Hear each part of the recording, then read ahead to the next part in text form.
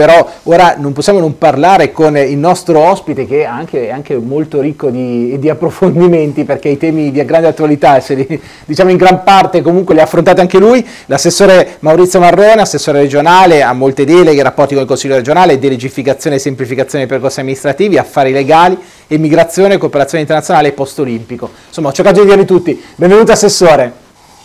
Buongiorno a tutti, grazie. Allora, mo molti temi, la prima cosa che le chiedo però, visto abbiamo sentito molti suoi colleghi anche eh, della Giunta, lei nell'ambito dell'emergenza Covid di cosa si è occupato nello specifico?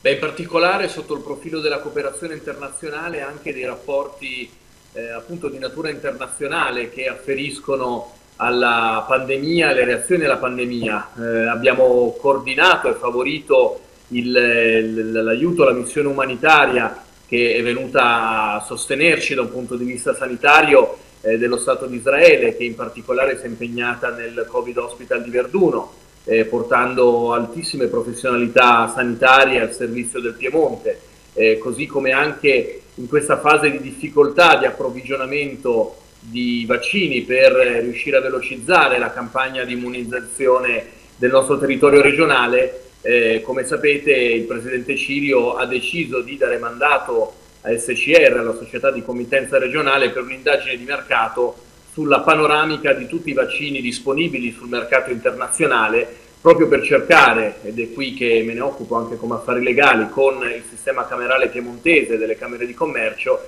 di eh, attivare un percorso di approvvigionamento da parte privata delle aziende che vogliano eh, diciamo, velocizzare il processo di immunizzazione eh, a proprie spese, eh, facendo in modo così di eh, vaccinare il proprio personale, i propri dipendenti e collaboratori che per ragioni di mansioni tecniche o magari di eh, export eh, necessitano di maggiore celerità per poter avere più libertà di movimento.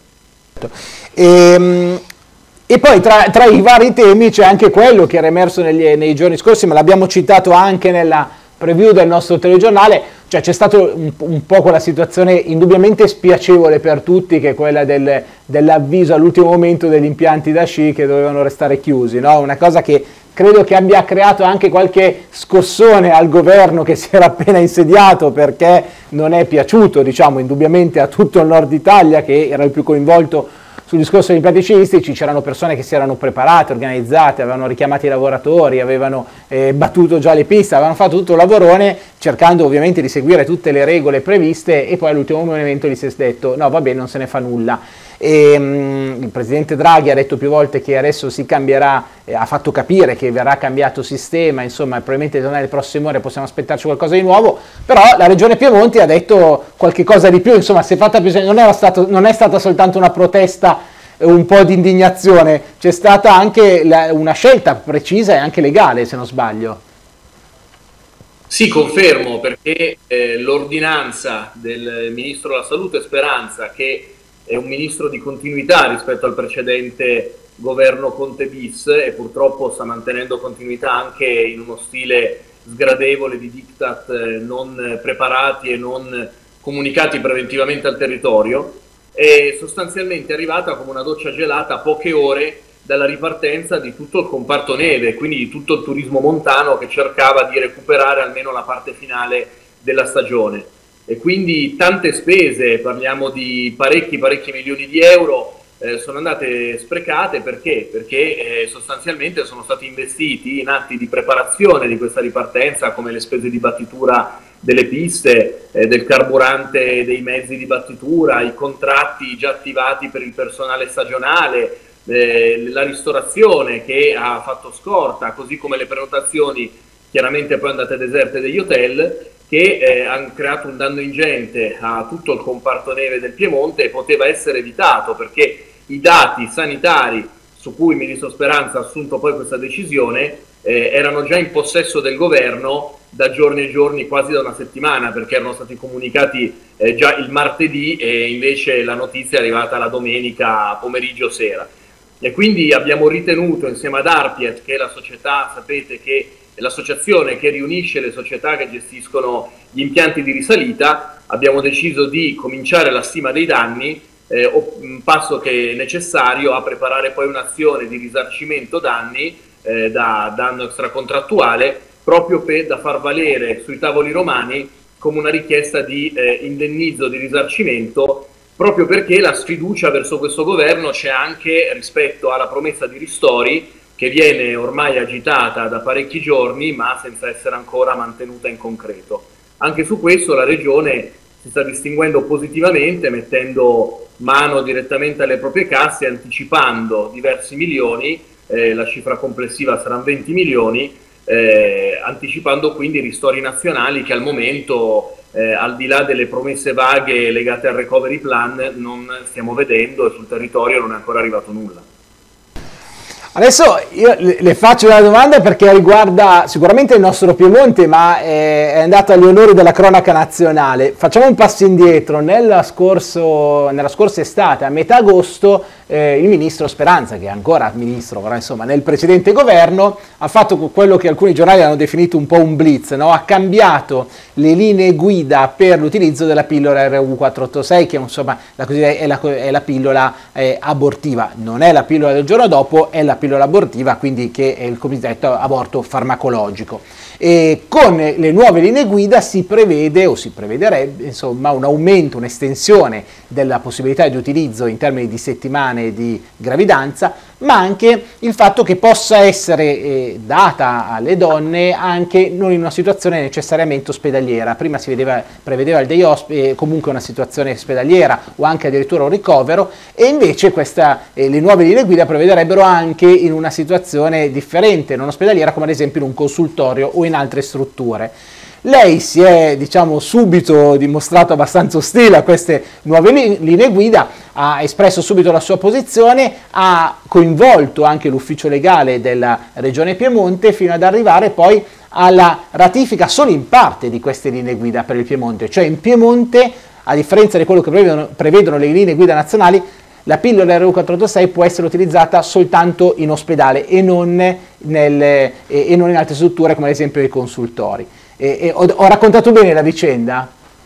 È una sintesi assolutamente precisa, proprio perché eh, sin dalla prima lettura di queste linee guida agostane, quindi già un po' atipiche in questo, eh, ci siamo accorti che il testo della legge che regola a livello nazionale il tema dell'interruzione volontaria di gravidanza, cioè la 194, venivano violate in modo piuttosto palese, soprattutto nella parte in cui eh, si chiarisce che il consultorio è il luogo dell'approfondimento della scelta della donna e quindi anche il luogo in cui si offre sostegno psicologico e le istituzioni hanno il dovere anche di informare, di suggerire tutte le possibili misure di assistenza, di sostegno di natura finanziaria piuttosto che anche sanitaria per eh, aiutarla nell'ipotesi di proseguire la gravidanza che invece il luogo dell'esecuzione della vera interruzione di gravidanza deve essere l'ospedale, anche per ragioni di tutela della sicurezza della donna che eh, operi questa scelta. Infatti, dopo questo primo approfondimento di natura tecnico-giuridica portato avanti con eh, una riunione con l'avvocatura regionale che ha confermato eh, i nostri dubbi e le nostre perplessità,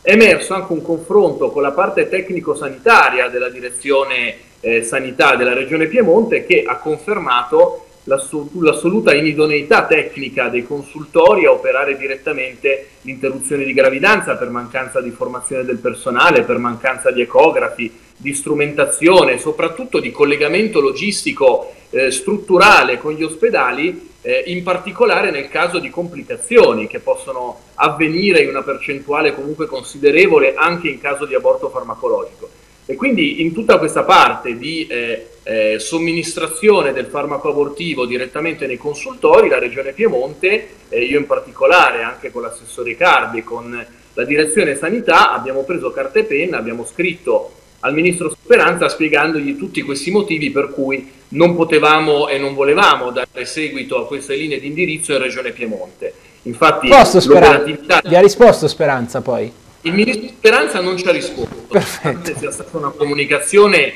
non solo politica ma anche formale, istituzionale, addirittura via PEC. Sono passati ormai mesi e non è giunta risposta, per cui sostanzialmente quella parte, che è quella maggioritaria della, eh, delle linee di indirizzo, anche tra l'altro la parte sull'estensione del periodo di somministrazione, perché Se quella parte dal punto di vista giuridica della legge 194 non poneva contrarietà, eh, il nostro settore tecnico, soprattutto dedicato eh, all'aspetto farmacologico della direzione sanità, ha evidenziato che eh, il secondo farmaco di somministrazione necessaria in caso di periodo in là, insomma con la gravidanza già eh, nelle, nelle fasi successive, assolutamente non è nemmeno reperibile a livello di copertura di servizio sanitario nazionale in Italia ed è quindi reperibile solo con costi assolutamente ingenti sul mercato statunitense. E quindi è in realtà una circolare non solo non conforme alla legge nazionale, bensì quasi tecnicamente inattuabile. E infatti, anche se non siamo troppo sorpresi, il Ministero della Sanità del governo prima Conte e poi Draghi non ci ha risposto e non ha replicato nostra, eh, al nostro chiarimento sull'applicabilità di gran parte delle loro indirizzo. Ho i tempi, ho i tempi devo, devo, chiudere questa interessante intervista, peraltro ricordo che adesso c'è stato anche poi un bando eh, per le associazioni invece che si occupano di difesa della vita per poter offrire il loro supporto, servizio eh, di, di, sostegno a chi ovviamente vuole, non è che ovviamente non è obbligatorio, ma una presenza, questo c'è, stato un, no, un, bando della regione Piemonte eh, che, che prevede proprio l'apertura anche di spazi fisici all'interno degli ospedali per dare un sostegno a, a, mamme che magari, o future mamme che possono essere preoccupate per eh, il loro futuro, per capire quali sono gli strumenti che possono aiutarle, giusto? Sì, sono bandi delle ASL piemontesi sì, per ecco, aggiornare gli elenchi di queste associazioni di tutela materno-infantile per assistere le donne e le ragazze con gravidanze difficili. Grazie, grazie Assessore, buon, buon lavoro a lei, ci, ci, risentiremo perché poi vogliamo sapere come è andata a finire sia la questione, anche la questione legale sugli sci, eh, mi raccomando che è un tema che stiamo seguendo con grande attenzione. Grazie per ora, buon lavoro a lei e ai suoi collaboratori. Grazie, arrivederci.